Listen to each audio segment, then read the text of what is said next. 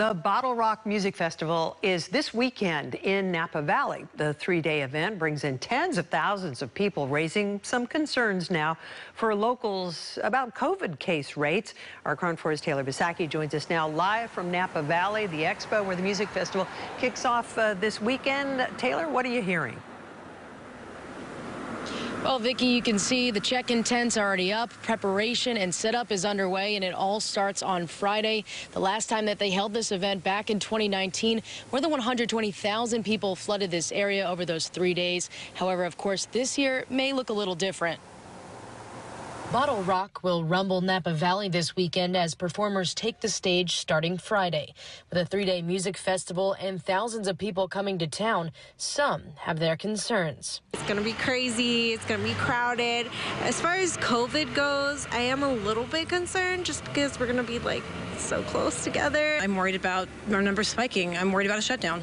Upon entry, BottleRock is requiring all guests to provide proof of vaccination or a negative COVID test taken within the last 72 hours of each day of the festival. Local Shannon Anthony says the proof of vaccination still doesn't ease her mind, especially with the highly contagious Delta variant. I've kind of thought this whole time, oh, because I'm vaccinated, I'm okay, and like I'm not going to hurt kids or someone who can't get vaccinated or I can't give it to them, but I could be carrying it.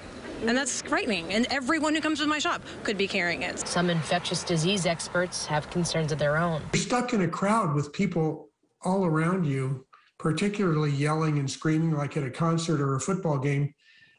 I think that is a risky situation for you, and I would try and avoid it right now. However, Napa County's public health officer isn't as worried. In a statement to KRON 4 News on Monday, she says, quote, BottleRock is requiring proof of vaccination of all attendees and staff or a negative COVID test 72 hours prior to attendance. Indoor mask use is mandatory, and they are highly recommending outdoor mask use. These measures were successful at markedly decreasing transmission during the Lollapalooza Music Festival in Chicago.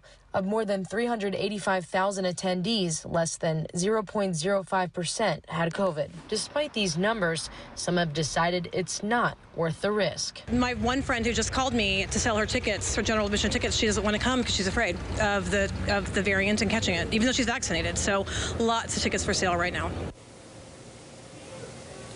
BottleRock will also provide a pop-up testing site on Thursday from 9 a.m. to 9 p.m. You'll have to sign up by Wednesday, and it will also cost you. Now, if you plan to come to the event, still bring your mask. Not only are they recommended outdoors, but they are required in all the indoor spaces. For now, we're live in Napa Valley. I'm Taylor Bisacky reporting KRON 4 News.